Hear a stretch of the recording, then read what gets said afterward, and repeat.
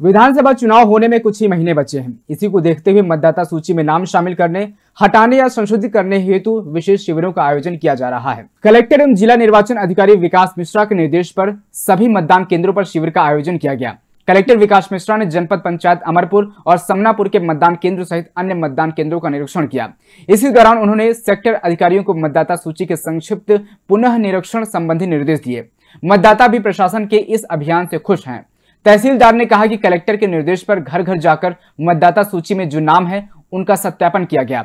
वहीं कलेक्टर विकास मिश्रा ने कहा कि मतदाता सूची में नाम शामिल करने, हटाने, संशोधित करने का काम किया जा रहा है। हम लोग चाहते हैं कि हर अपने अपने क्षेत्र में नए पात्र हो सकते हैं, उनके नाम जुड़वाएँ और जिनकी मृत्यु हो गई, उनका प्रॉपर डॉक्यूमेंट लेके सुबह के लिए यदि जो लोग किसी और मोहल्ले में चले गए हैं तो उनका नाम हम लोग एक चुनाव की मंशा है हर पार्टी का नाम कितने मतलब वोटर वोटर्स हैं?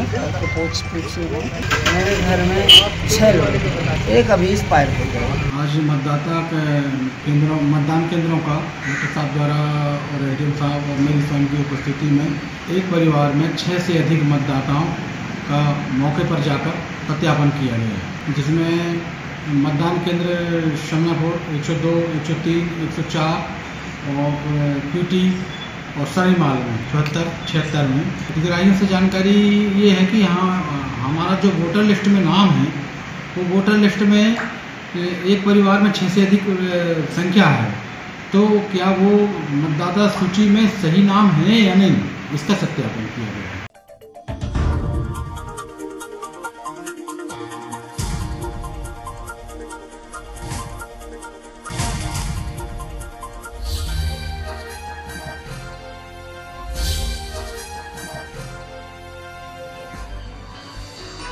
आप देख रहे हैं दखल न्यूज़।